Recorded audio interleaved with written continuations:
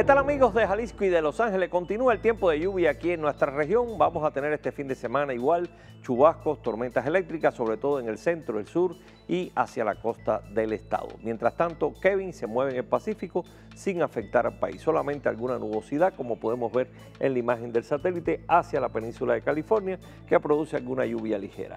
En lo que respecta a nuestra zona, aquí podemos ver las lluvias que se produjeron durante la madrugada, como se formaron aquí en esta zona del centro y avanzaron hacia la parte de la costa. Hoy tendremos en la zona metropolitana 27-28 grados por la tarde, 17 en el amanecer, chubascos, tormentas eléctricas, Lagos de Moreno igualmente, también en Colotlán 30 por la tarde, 15 en el amanecer y en Ciudad Guzmán 29 en la tarde, 16 en el amanecer de mañana. Para Puerto Vallarta esperamos lluvia, 33 por la tarde, 25 en el amanecer, sobre todo en la noche y en los Ángeles, 77 grados Fahrenheit, la temperatura bastante agradable, 65 en el amanecer.